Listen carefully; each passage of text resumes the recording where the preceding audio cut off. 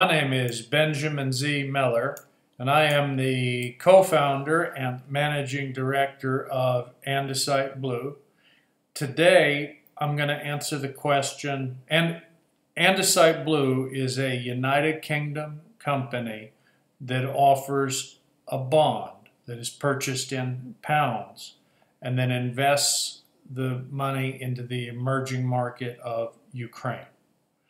So the question that I'm going to answer is what is the best way to buy non dollar denominated emerging market bonds?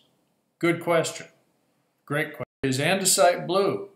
Andesite Blue is a company that offers non dollar denominated emerging market bonds. We're one of the few companies out there that offers non dollar denominated emerging market bonds.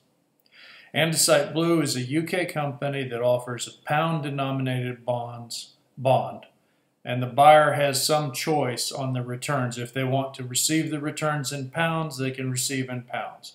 If they want to receive the returns in Ukrainian hryvnia, they can receive in Ukrainian hryvnia. If they want to receive in another currency, we can talk about that.